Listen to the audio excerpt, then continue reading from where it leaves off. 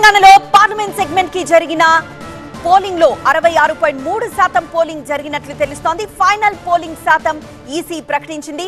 గతంతో పోలిస్తే మూడు శాతం పోలింగ్ పెరిగింది అంటోంది ఈసీ రాష్ట్ర వ్యాప్తంగా మూడు కోట్ల ముప్పై రెండు లక్షల మంది ఓటర్లున్నారు.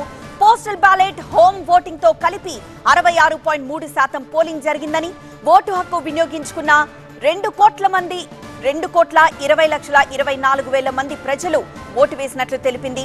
పోలింగ్కు దూరంగా కోటి పదకొండు లక్షల తొంభై ఒక వేల మంది ఓటర్లున్నట్లు ఈసీ తెలిపింది.